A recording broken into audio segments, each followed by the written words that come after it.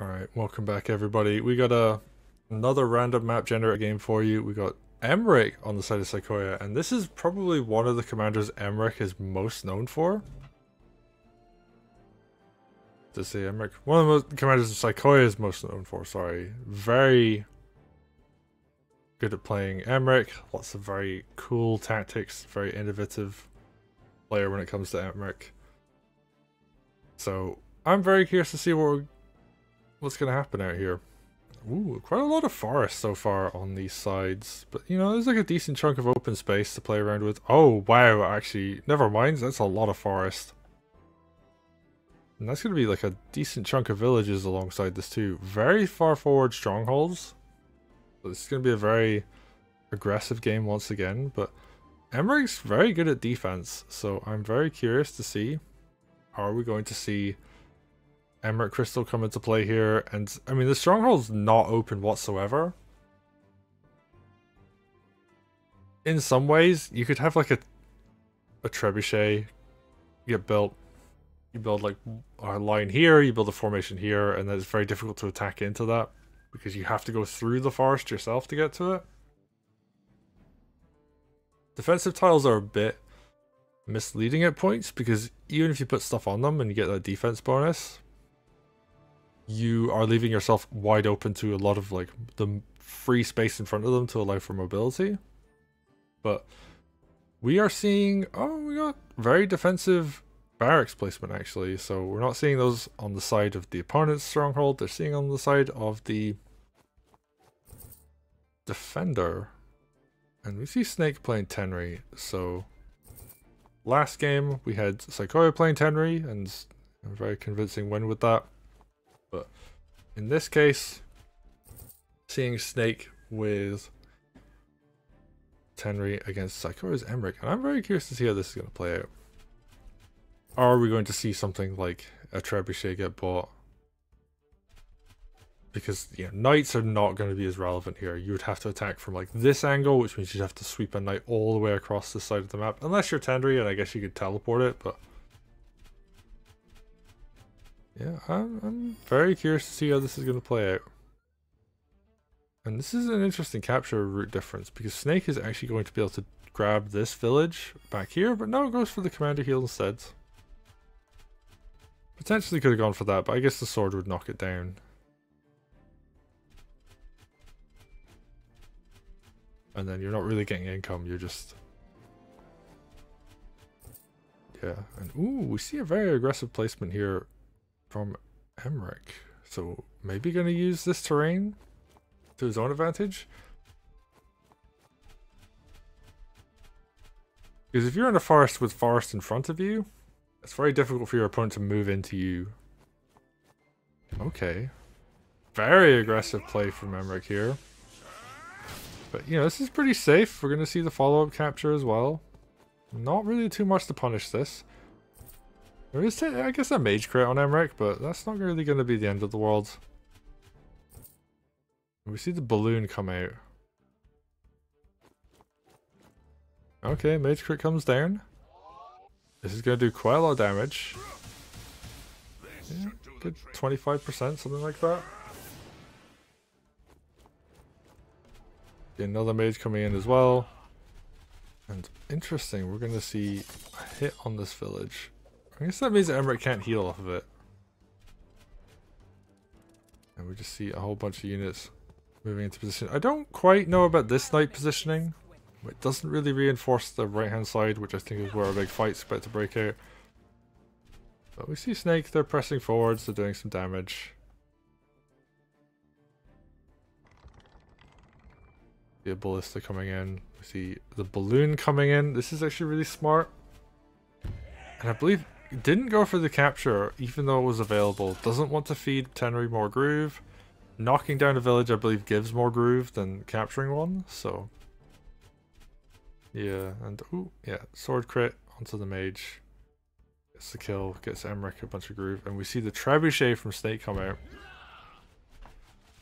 And Tenri can be very flexible here, can use the can use this defensively and offensively without actually having to reposition the trebuchet, it's all about where Tenri is going to groove from. And it just wants to get a bit of damage onto the sword. I think the play here is getting Tenri a bit more groove. But rather than like wanting to necessarily like kill this sword. And who actually forces it to run back and heal off a village. Which is going to drain that and mean Emeric can't use it as much. Ooh, but Emeric is just going to use a mage heal on himself. Doesn't kill the dog. Oh, I'm very curious about that. Oh, but this knight is now moving into an aggressive position. I think it's slightly out of position to get the crit on the stronghold itself, but... Yeah, and I actually really wish this knight had gone over to this side to have been more aggressive and involved in this fight. Oh, and Tenri's just being very passive. So I don't know how I feel about this from Snake. Just being a bit unsure of where to put that knight. Tenri, not going to do too much. Just feels a bit like her hands are tied right now. Isn't really in a position to do anything. Like you either want to like dedicate to moving more to this side or staying aggressive. And that ballista is just slowly going to chip away at stuff. Slowly going to build more groove too. But Snake actually has a golem now and a trap, so we're going to try and force Emeric back. And we're going to see balloon archer, balloon spear. Just a lot of stuff reinforcing over on this side. We slowly see a second ballista moving forwards. Now here's a really interesting thing Emeric can do. Emeric's tier 2 groove increases the range of all of his units.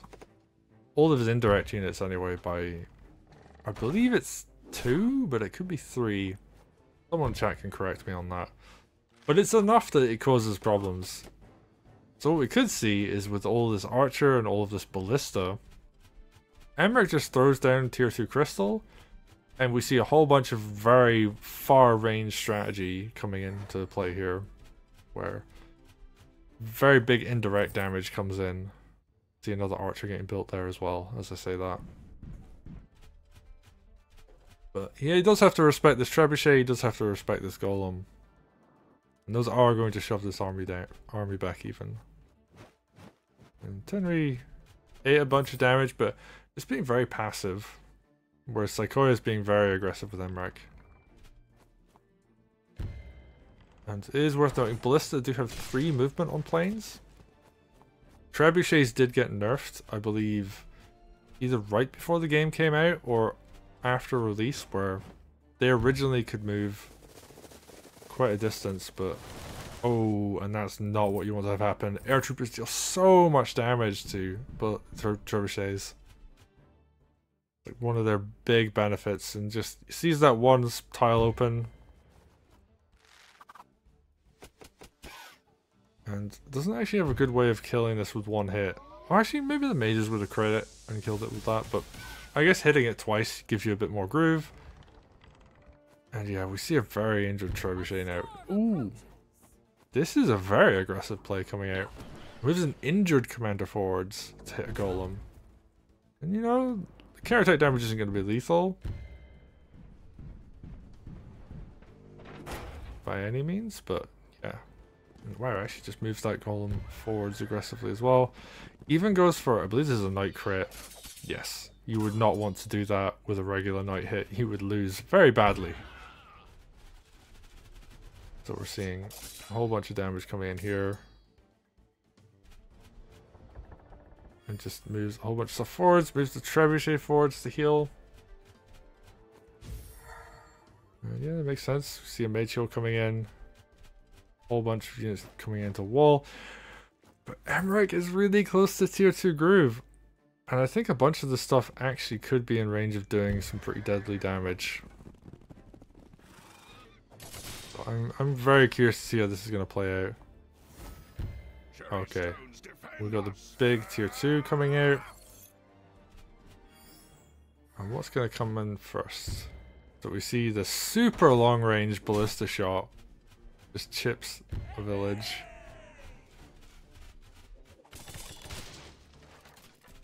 Oh no, that was the one that could hit all along, so No, not the biggest deal. Alright. Archer comes in. Deals damage from a tile it would be able to do it from anyway, so...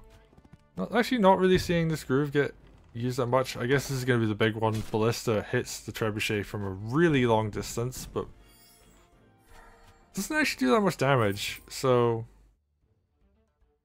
Yeah, this is actually genuinely just a very nice turn for Saykoya, but the, the tier 2 didn't really impact things that much. I mean, that Treb would have knocked down that village either way. This Golem's going to do the exact same thing it would have done. And yeah, no, no extra damage really came of that groove. Aside from just a bit of chip. And people are saying Ballista's 8 range, yeah. If it's in if it's in the crystal, it gets the 8 range. And yeah, it's only for one turn, as people in chat are discussing.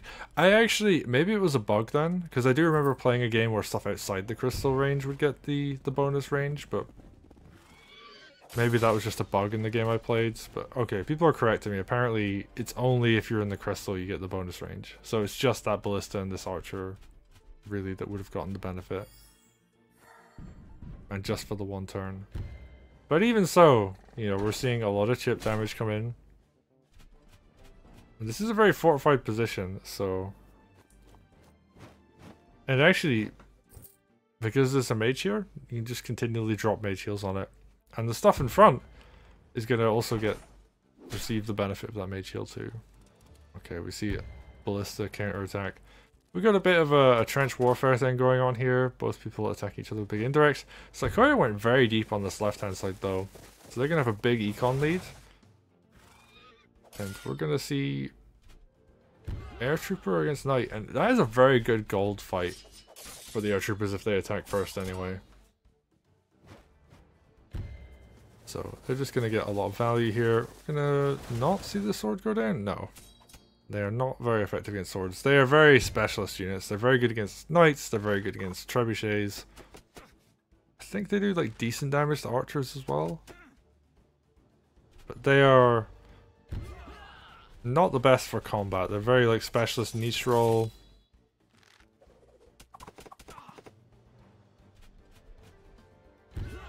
Ooh, we're just gonna continue to see more units just kind of run forward and do I mean you're essentially attacking a knight that's on a a mountain there. Okay, what are we gonna see here? Okay. Golem's gonna get moved out. The position is interesting because this is only going to do regular trap damage. That's still a lot actually. I say regular. That wasn't even full health either. Okay. Eats a bit of counter attack damage there, and yeah, like a sword is going to finish it off at this point. And down it goes. So, uh, Tenri gets a, a nice pick off on a golem. That's pretty good value. Gonna see some damage coming on this crystal. That's a weakened sword though, so not to be the biggest deal. Just moves everything in. Ooh. I don't know, I feel like this is a lot of stuff that's just going to get eaten. So here it goes. First, Spear Crit comes in, takes out a sword. But I guess, you know, if you're going in, you have to go all in. Injured Archer are going to be next. Big Mage comes in, and I think that was for the benefit of the Archer more than anything else. Does kill the swords. Okay, Archer crit's pretty strong. Ballista follow up. Gonna weaken the swords. It's gonna allow a sword crit to finish it off.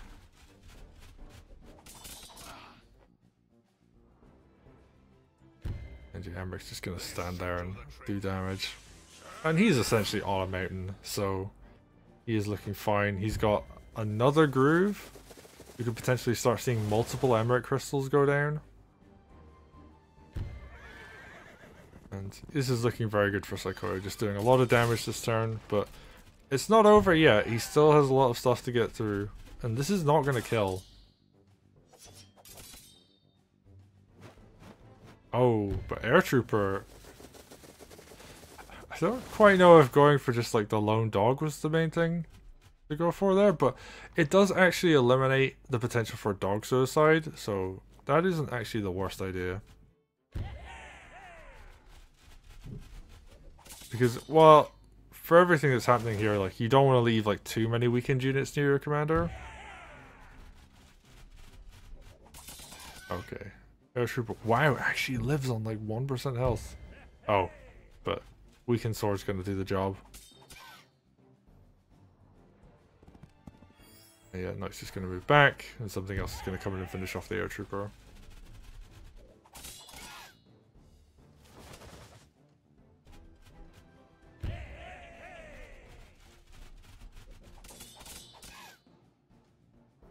Troopers going down. These dogs probably gonna get finished off by whatever follows up. Yeah, Spear's gonna fall finish this.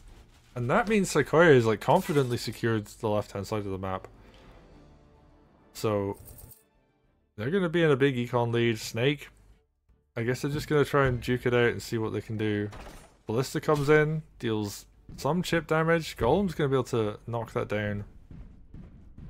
And that actually I think leaves the crystal open as well. Yeah, sword's gonna come in. Is that gonna kill? It does. Ooh, that's a big deal. And for a moment I thought we were going to try and see some damage going on the commander, but no, we're just going to see a whole bunch of... There's a hole open now, so I guess if you if you punch the hole open, you're going to you know, see what you can do by going through it. Airtrooper fights a sword. I mean, not going to be the best gold value, but Airtrooper's on good terrain, so... Is it? No, actually, no, it's just on plane. What I talking about? I guess it just wants to do some damage. Just like very... It's expensive to fight over here, but he has to do it. Otherwise he's going to lose the game. Okay, Tenri's going to... I don't think kill this, but do a lot of damage. And not take much in the way of counterattack, so... Yeah, it's mostly just for building groove more than anything else. But Emeric already has tier 2 groove again. Oh, wow. So, what's, what's the follow-up here? This army's actually looking pretty good. But can Saykoya do a good job continuing to fight through here? And one unfortunate thing here is because he has to clear a bunch of stuff out to use Emeric's groove effectively. Like that's that's a bit of wasted groove that he could have had. Okay, we got extra range of both these ballista. Got a mage crit coming in. Is there anything big and heavy to put in front here? Uh, I guess the knight technically. And yeah, air troopers do like reasonable damage to golems. Not like the best thing in the world, but they do okay. And we just see the spear come in, goes for the heal. Is this gonna kill? No! Barely lives. Bliss is just gonna go for a bunch of damage. So actually leaving a whole bunch of weakened units alive. Doesn't really want to go for any kind of kills or anything. I guess it's an orc percent for a golem to be alive at. 68%. Can't really heal it to full, so it can't really knock down any walls. And it's in front of, like, all of this is mountain, essentially. But Emeric's Groove is looking pretty spooky. And there's just so much, like, indirect damage here as well. It's just like a huge meat grinder on this side. And over on the left-hand side, we're starting to see slowly Snakes, like, taking down this army. But it's having to buy very expensive units to kill swords. And by the time this all gets cleared up, there's not going to be... Like, all these villages will have healed up to the point where it takes, like, even more money to knock them down. Snake, just continuing to fight over here. This is not even going to come close to killing, because, yeah, these are essentially on a mountain. They've got, that crystal defense. Archer comes in. It's a bit more chip. Maybe gonna see... Yeah, I mean, yeah, they're definitely gonna die to a knight. Even if it's just a regular hit. Golem's just like, yo, I'm still in here. I'm still doing damage. Picks up another kill. I'm really curious what this Treb's gonna do because there is an air trooper nearby and Snake has to respect that. Otherwise this Treb's gonna eat a ton of damage. Big Mage Heal comes in. Yeah, just moves the trebuchet back. Is like, I don't want to have to deal with this air trooper. Really good positioning there, actually. Saykoya very much adjusting well to the new the new units. And we're just gonna see more and more of this meat grinder on the right hand side. Saykoya has the income leads by like a pretty significant margin. He's got three villages up on this side and an extra village over here. Well, actually no, it's only a two village lead because yeah, we did actually manage to see Snake go across the line and take this right hand village, so. Yeah, it's, it's a two village lead, so not the end of the world, but oh dang, that's a that's a big unit to lose there. Even gonna use his air troopers just to pick off a, weakened sword. But every time you pick off a weak unit, it's a significant gain for being able to move your commander forwards. Because that's chip damage on your commander that could come in later. Oh, nicely calculated. Are we gonna see this golem go down? Yep, Night Crit comes in. And we're just going to continue to see stuff push forwards.